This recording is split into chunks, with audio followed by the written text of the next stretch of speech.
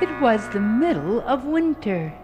A road stretched across the country.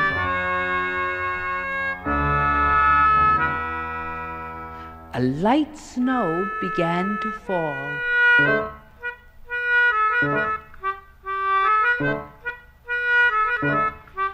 An old woman was on her way home. The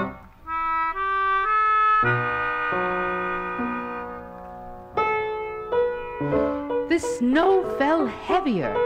The snow fell faster. Soon everything was covered with snow. The old woman lost her way. Soon she too was covered with snow.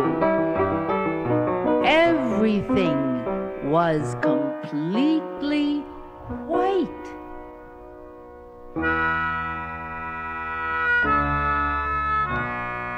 Far away was the woman's little house. Inside, her husband waited. He was an old man with a long white beard. He waited and waited. Then he put a light in the window. The old woman saw the light and said, Why, there's my house. And she hurried home through the snow.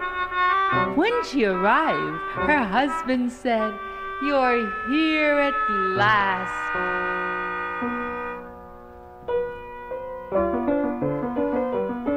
The snow kept falling, and the old couple sitting by the fire were warm and safe in their little house.